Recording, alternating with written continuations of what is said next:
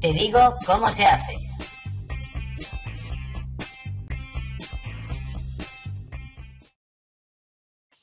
Hoy crearemos una nube en una botella.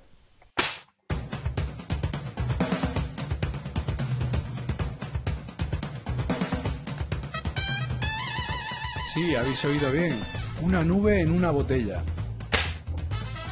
Y para que esto sea posible necesitaremos una bomba de aire, cualquier bomba de hinchar ruedas de bici valdría. Una botella de plástico, de las que el plástico es un poco más duro. Alcohol de 96 grados, un tapón de plástico o corcho y un poco de cinta aislante. Acto seguido cogeremos el corcho y comprobamos si ajusta con la botella.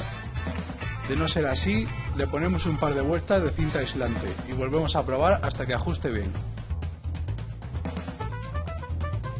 Ya hemos conseguido el ajuste que queremos y lo siguiente será hacerle un agujero para meter en la boquilla que debe traspasar de un lado a otro. Esto puede hacerse con otro tipo de boquilla. Lo importante es que traspase el tapón para que el aire pase a la botella.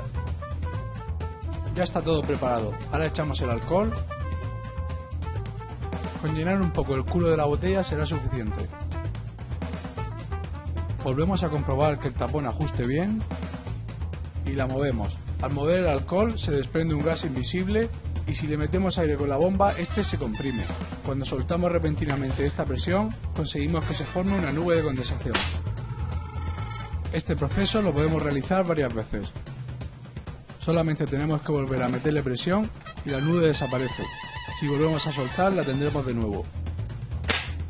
Para más detalle, observemos el proceso a cámara lenta.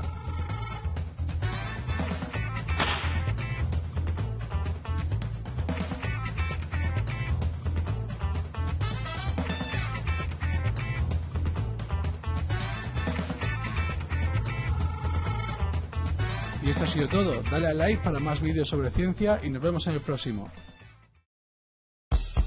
Y así es como se hace. Si te ha gustado, no olvides suscribirte a nuestro canal de YouTube y visitar nuestra página web www.tedigocomosehace.com.